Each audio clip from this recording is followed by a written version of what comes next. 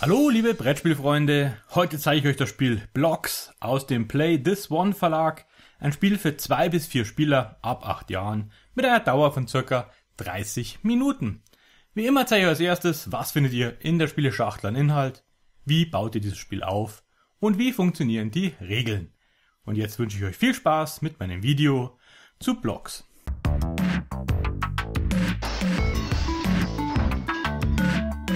In der Spieleschachtel findet ihr folgenden Inhalt.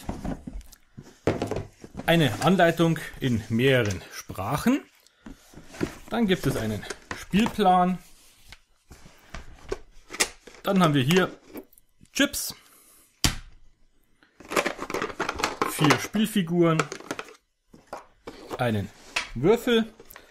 Ein paar Karten für die Maestro-Version, die zeige ich euch dann auch noch. Und einen Haufen Blöcke. Das ist der komplette Inhalt der Spiele Schachtel und als nächstes zeige ich euch, wie ihr das Ganze jetzt aufbaut.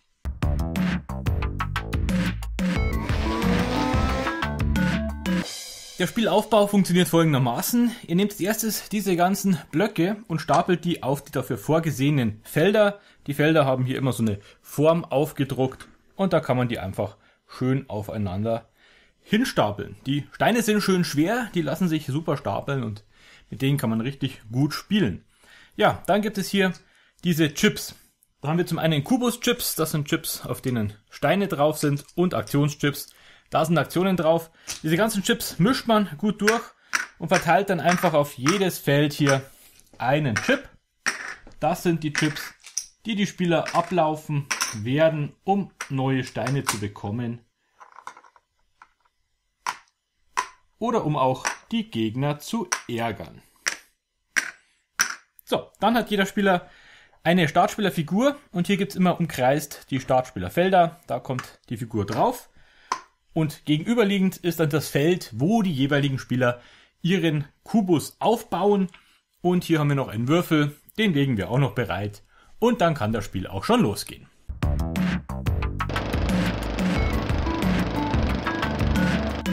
Das Spiel läuft folgendermaßen ab. Der Spieler, der dran ist, nimmt den Würfel, würfelt und läuft so viele Felder im Uhrzeigersinn über diese Chips, wie er gewürfelt hat. Ist der Chip noch verdeckt, dreht er den Chip um, schaut, was drauf ist und führt diese Aktion dann aus. Ist der Chip schon offen, wo er draufkommt, führt er die Aktion natürlich einfach sofort aus, ohne irgendwas umzudrehen. Kommt der Spieler allerdings zusammen mit einem anderen Spieler auf den gleichen Chip drauf, dann gibt es zwei Möglichkeiten, was zu tun ist. Zum einen muss der Spieler immer mit dem anderen Spieler etwas tauschen.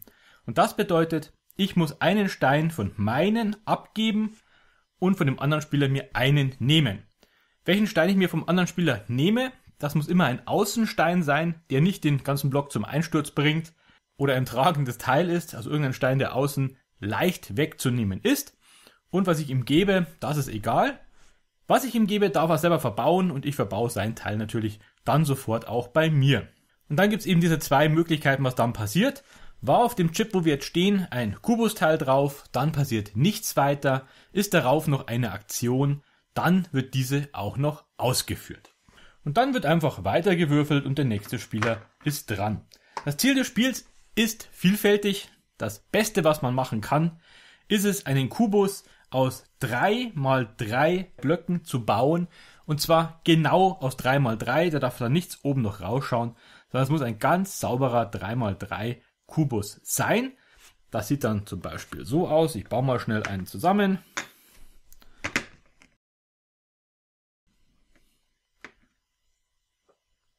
Hier haben wir jetzt die untere Reihe mit drei. Und hier haben wir auch nach oben langsam die drei. Da gehört noch einer hin. Dann nehmen wir den hier noch. Ne, der geht nicht. Ähm, Zweier sind gut. Hier einen Zweier noch drauf. Hier einen Einser noch drauf. Das wäre ein perfekter 3 auf 3 Kubus. Und der Spieler, der das Ding so baut, hat das Spiel sofort gewonnen. Da wird dann gar nicht mehr weitergemacht. Das Spiel ist sofort vorbei. Und der Spieler ist der Sieger. Die zweite Möglichkeit, wie das Spiel enden kann, ist, Wenn alle Kubosteine von hier genommen wurden, sobald der letzte Spieler das letzte Teil nimmt und verbaut hat, ist das Spiel auch vorbei. Und genauso ist das Spiel vorbei, wenn alle von diesen Scheiben umgedreht wurden, sodass man die Bildseite sieht. Auch dann ist das Spiel sofort aus. Und wer hat in diesen beiden Fällen dann gewonnen? Der Spieler, der die meisten kompletten Ebenen gebaut hat. Denn es ist so, wenn ich schon merke, ich schaffe diesen 3x3 Kubus sowieso nicht, dann muss ich schauen, dass ich in die Höhe komme. Dass ich einfach fertige Flächen so viel wie möglich in die Höhe baue, denn dann ist es schon wurscht. Und das Ziel bei diesen beiden Möglichkeiten, eben alle Steine weg oder alle Chips umgedreht, da ist das Ziel eben, dass ich den höchsten Kubus habe mit fertigen Flächen. Das heißt, wenn die Fläche irgendwie ein Loch hat, dann gilt sie nicht, es muss eine zuhe Fläche sein und wer da am meisten hat, der hat dann gewonnen. Und wenn da Gleichstand herrscht, dann gewinnt der Spieler, der auf der noch gerade bebauten Fläche noch die meisten einzelnen Steine gerade in der Mache hat. Das sind die grundsätzlichen Regeln von Blocks in der normalen Version. Ich spiele euch jetzt eine kleine Beispielrunde vor und dann nehmen wir aber gleich noch die Version Blocks Maestro mit dazu und da spiele ich euch dann nochmal ein paar weitere Züge und erkläre euch die zusätzlichen Regeln, die durch Blocks Maestro dazukommen. Die sind nicht sehr kompliziert, verfeinern das Spiel aber noch ein bisschen und bringen noch ein bisschen mehr Spielspaß rein. Jetzt aber erstmal eine kleine Testrunde mit der normalen Version.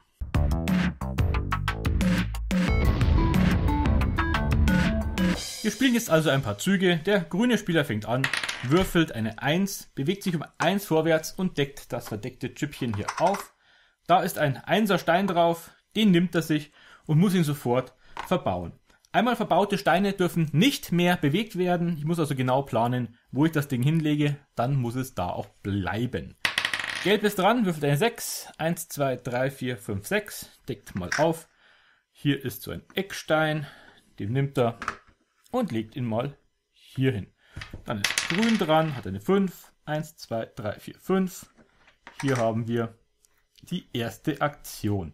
Es gibt nur zwei besondere Aktionen. Das ist die erste und die heißt, der Spieler darf sich einen beliebigen Stein aus der Auslage hier nehmen und bei sich verbauen. Ich nehme es mal so einen, ja, ich nehme mal diesen hier, leg den hier rein und der gelbe Spieler ist wieder dran. Auch der würfelt eine 4.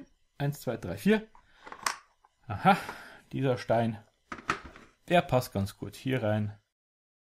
Grün ist wieder dran, würfelt eine 5. 1, 2, 3, 4, 5. Hier ist dieser Stein drunter. Den nehmen wir und legen auch hier rein. Gelb ist dran. 1, 2, 3, 4. Kriegt diesen Stein. Den kann er jetzt hier auch so aufrecht natürlich reinstellen. Die Dinger stehen wirklich sehr gut, weil die recht schwer sind. Der grüne kommt dran. 1, 2, 3, 4, 5, 6. Deckt mal das hier um. Das ist so ein flacher Stein. Genau. Und so geht es jetzt immer weiter. Ich schaue jetzt mal, wo die zweite spezielle Aktion ist, dass ich euch die noch schnell erkläre, bevor wir dann uns der Maestro-Version zuwenden. Das ist dieser Stein hier. Das hier bedeutet einfach, ich darf meinem Gegner einen Stein klauen. Bedeutet also, wenn er jetzt hier drauf käme, dürfte er mir einen freiliegenden Stein klauen, also den grünen und den gelben, zack, und bei sich sofort verbauen und die Aktion wäre erledigt. Das ist also die zweite Aktion. Es gibt nur diese beiden, einen Stein klauen oder eben einen beliebigen Stein hier aus der Auslage nehmen. Gut, so viel jetzt mal zur normalen Version. Wir werden jetzt hier nochmal kurz alles umdrehen und ich werde euch dann gleich mal die Maestro-Version erklären aber das machen wir im nächsten Video.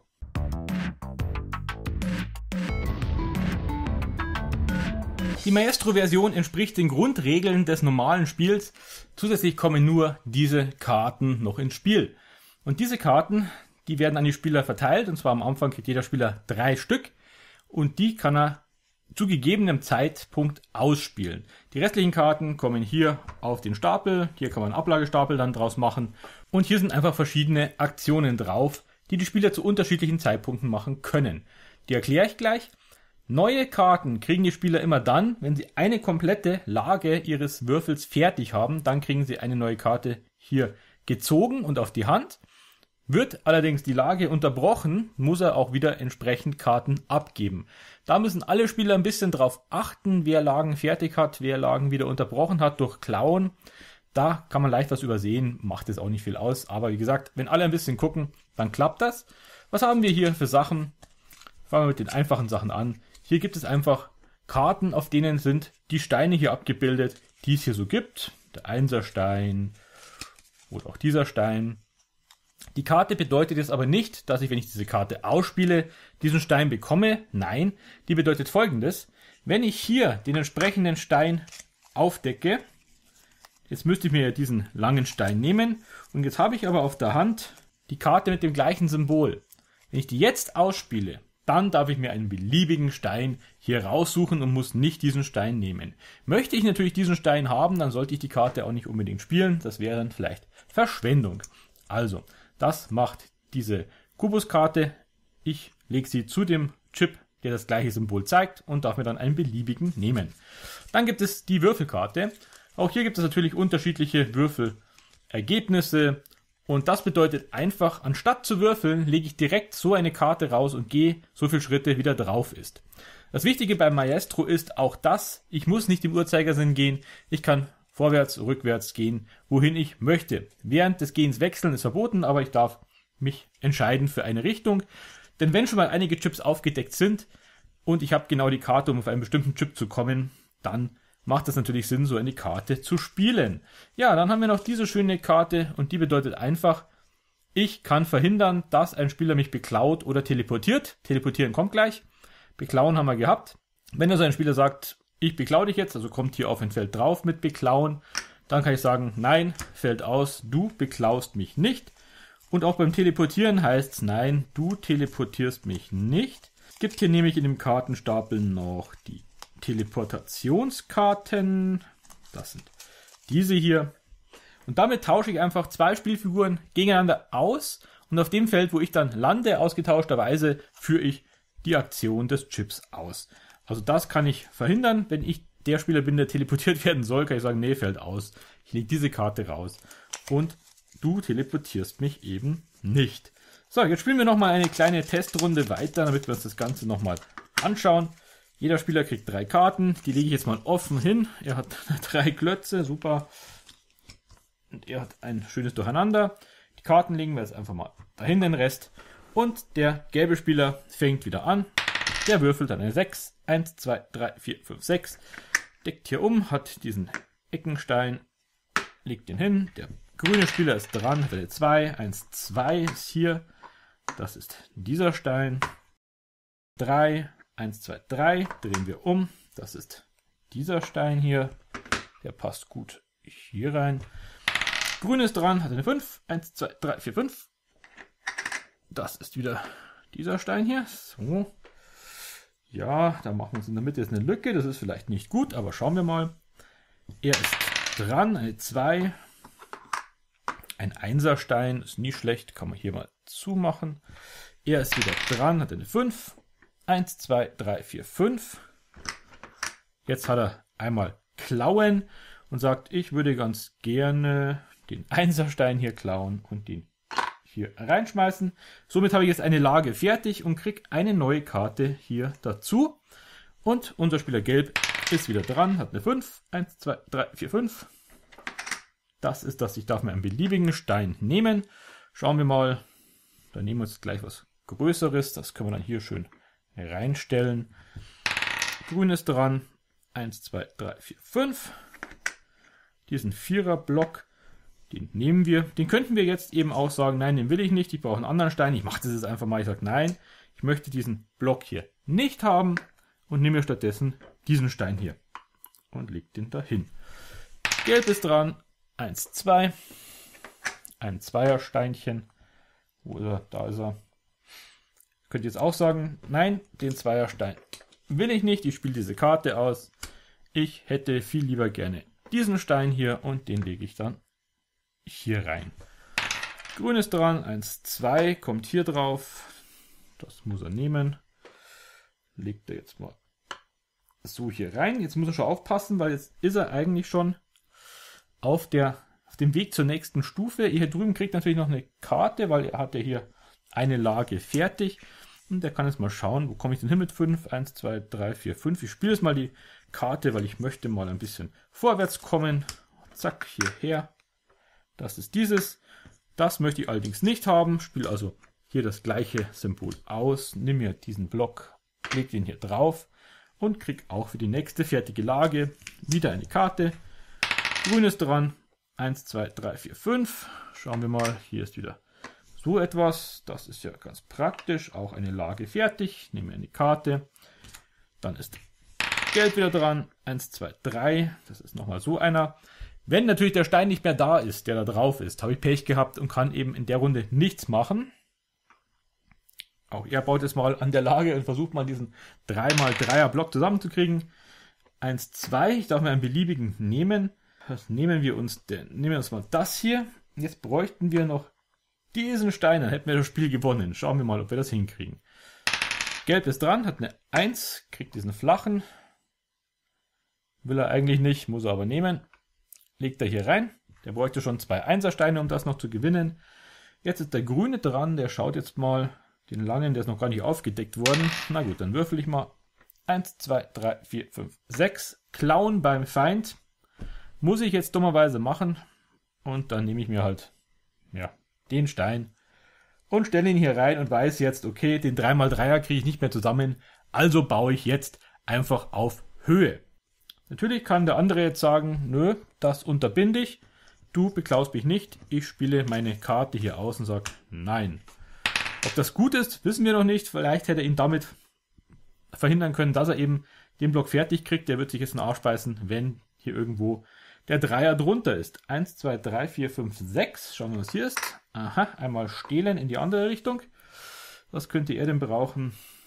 Eigentlich nicht wirklich was. Er klaut ihm den hier legt den bei sich rein und jetzt hat er eine Lage verloren, die ist wieder offen. Das heißt, der andere Spieler zieht ihm jetzt eine Karte aus der Hand. Diese Karten, wie gesagt, verdeckt auf der Hand halten, nicht hier offen liegen lassen, wie ich es für euch gemacht habe. Der zieht ihm verdeckt eine raus und schmeißt die auf den Müll, weil er eine Lage verloren hat. Ja, dann ist er gleich wieder dran. Eine 4, 1, 2, 3, 4. Den Stein gibt's nicht mehr. Hat er Pech gehabt. Gelb ist dran. 1, 2, 3. Darf einen beliebigen Stein nehmen nimmt sich jetzt von mir aus den hier, hat wieder eine Lage fertig und bekommt wieder eine Karte geschenkt. Ja, so läuft das Spiel jetzt einfach weiter, bis er es schafft, den 3x3er zu bauen oder wenn er eben auch höher baut, dann gehen alle Spieler nur darauf, fertige Lagen zu kriegen und entweder endet das Spiel, wenn hier keine Steine mehr sind oder wenn alle Chips aufgedeckt wurden, dann ist das Spiel auch vorbei. Bei der Maestro-Version gibt es noch eine vierte Version, wie das Spiel gewonnen werden kann. Und das ist, wenn es einer schafft, zwei Dreierblöcke aufeinander zu bauen. Also sechs in die Höhe, eine saubere Fläche. Dann hätte der Spieler auch gewonnen. Das ist eine Sonderregel in der Maestro-Version. Da gibt es sozusagen vier Möglichkeiten, wie das Spiel enden kann. Sollte der Stapel mal leer sein, wird der Ablagestapel neu gemischt. Ansonsten bleiben die Regeln eben gleich wie im Grundspiel.